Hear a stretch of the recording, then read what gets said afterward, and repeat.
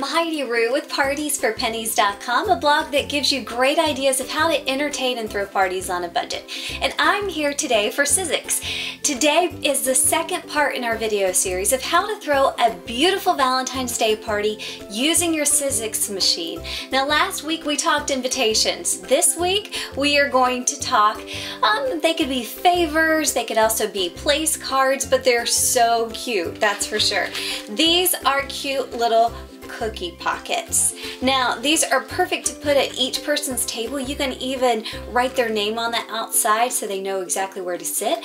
Or you can wrap these cookies up in like a little plastic bag, stick it in there, and then it is the perfect little favor to send home with your guest. So here's what you'll need to make your own Valentine's Day cookie pocket.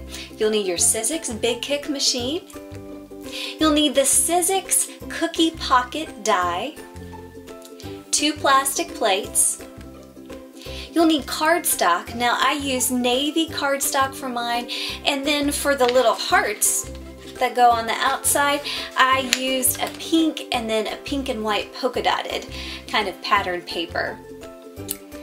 Then you'll also need some heart framelits from Sizzix as well as a magnetic platform and your two plastic plates. You'll also need a glue stick and you'll I used um, this really pretty gold washi tape and you can find those in most stores and also a pair of scissors. Okay, let's get started on our cute little Valentine's Day favor and place card. Layer your plastic plate, your cookie pocket die, cardstock, then your final plastic plate and run through your Sizzix machine. And this is what it looks like. Layer your magnetic platform with a plastic plate, your cardstock, and the heart Thinlits. Cover with another plastic plate and run through the machine.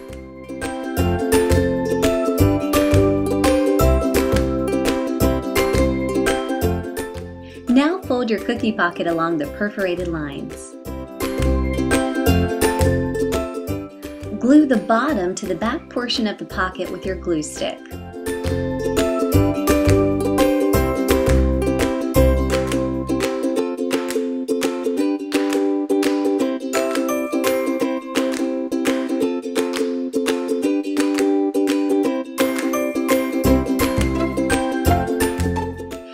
Place a piece of gold washi tape across the front of your pocket.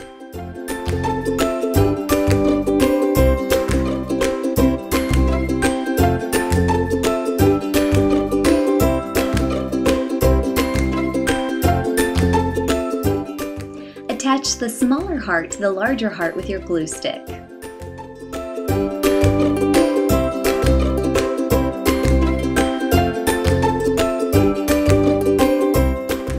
Finally, attach the whole thing to the front of your cookie pocket with your glue stick.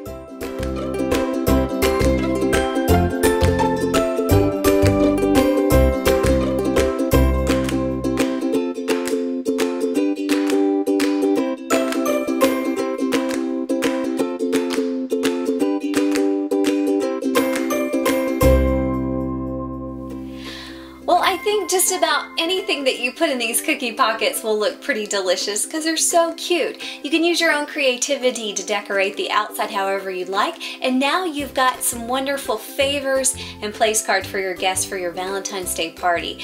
Come back next week and I'll show you how to jazz up just an ordinary plain cake. And as always, check out Sizzix.com for more great products and great ideas.